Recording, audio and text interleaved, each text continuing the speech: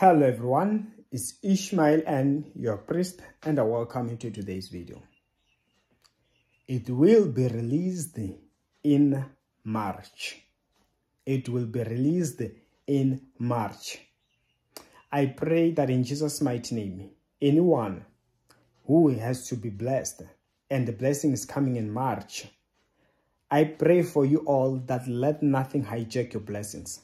May all that you've been waiting from the Lord to release be released surely. It will not be hijacked in Jesus' name. Amen. And of course, you can book an appointment with me. My details are on the description of the video below. See you next time.